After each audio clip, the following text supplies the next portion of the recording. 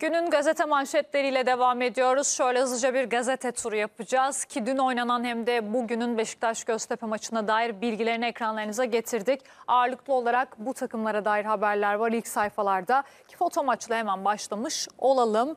Altı patlar başlığında Oğuz Aydın'ın fotoğrafını görüyoruz. Fenerbahçe Oğuz Aydın'ın iki gol bir asistle yıldızlaştığı maçta Kayseri Spor'a patladı. Sonuç 6-2. Sağ tarafta da hemen altın vuruş başlığı var. Lider Galatasaray Bodrum Sporu Batshuayi'nin jeneriklik kafa golüyle devirdi ve puan rekoru kırmış oldu. Lider Galatasaray dün Bodrum Spor karşısında iki rekor için çıktı. Ancak topun oyunda 21 dakika kaldı. İlk yarıda sadece bir isabetli şut atabilen Cimbom rüzgara karşı oynamasıyla da vasat bir futbol sergiledi. İlk devrenin en önemli anı 45'te ev sahibi ekipten Ege Bilsel'in kırmızı kartla atılmasıydı. Fanatik gazetesine geçiyoruz. Ne Fener ama. Milli ara dönüşü Fenerbahçe'nin gövde gösterisi vardı. Kayseri deplasmanında rotasyonlu kadrosuyla sahaya ayak basan Sarı lacivertliler tam yarım düzine gol attı. Şimanski'den formayı alan Mert Hakan ve ilk kez 11 oynayan Oğuz Aydın müthişti. Giren çıkan kim varsa harika işler yaptı. Görünen o ki Mourinho'da öğrencileri de zirve yarışına sımsıkı sarılmış durumda. Galatasaray karşılaşmasında Batshuayi'nin fotoğrafıyla birlikte tarihi 3 puan başlığını görüyoruz. Cimbom Bodrum deplasmanında çok ama çok zorlandı. İlk yarıda 10 kişi kalan rakibini aşamayan Aslan pozisyonları ikinci yarıda buldu. Batshuayi'nin golüyle öne geçen Sarı Kırmızılar farkı açacağı fırsatlar da buldu ama kaleci yıkılmaz bir kale gibi durdu. Zor da olsa gelen galibiyetin anlamı büyük. Galatasaray lig tarihinde ilk 12 maçta 34 puana ulaşan ilk takım oldu ve bir ilki başardı.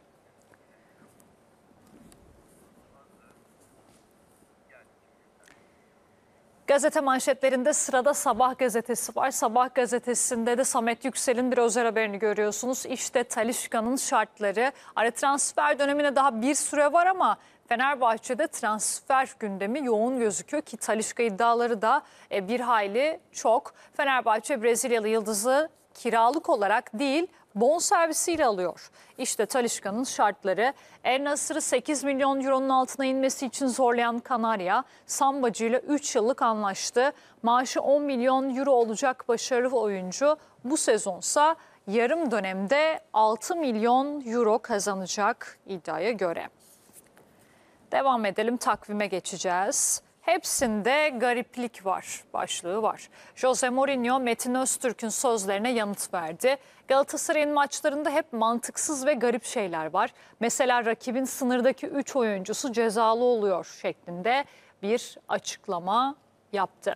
El Nesri yine yazdı. Faslı futbolcu Fenerbahçe formasıyla son 4 maçta 4 gole katkı yaptı. Ronaldo benim için gelebilir. Portekizli çalıştırıcı. Cristiano Ronaldo'nun transfer gündemlerindeki olduğu yönündeki haberleri bir yanıt da verdi. Cristiano Ronaldo belki bir gün özel jetine atlayıp eski arkadaşı olan Mourinho'yu görmeye gelebilir şeklinde bir açıklaması var. Filip Kostic de siftah yaptı. Sarı lacivertlerin Sırp yıldızı 6. Süper Lig maçında ilk kez gol sevinci yaşadı. Şimanski de 6 ay sonra gol attı. Hürriyet gazetesiyle devam edecek olursak. Son iki maçta ilk 11'de yer alan ve iki asist yapan Mert Hakan farklı galibiyeti şu şekilde yorumluyor. Biz doğru oynayınca bu skor normal. Bu camiaya hizmet için buradayım. İyi oynadığımı düşünüyorum. 3-0'dan sonra bize yakışmayan konsantrasyon eksikliği yaşadık.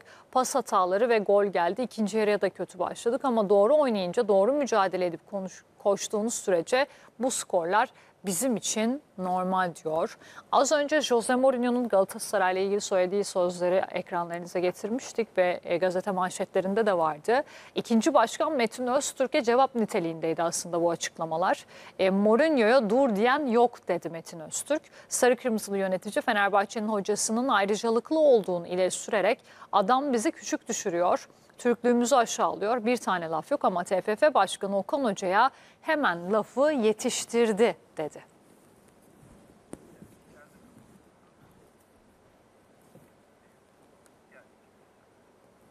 Manşetleri bu saat dilimimiz için noktalıyoruz. Haberlerimize tekrar Trendyol Süper Lig'de devam edelim. Çaykur Rizespor 1-0 geriye düştü maçta. Deplasmanda İKAS Eyüp Spor'u 2-1 mağlup etti. Peki teknik adamlar bu karşılaşmayı nasıl yorumladı? Basın toplantısında cevaplar.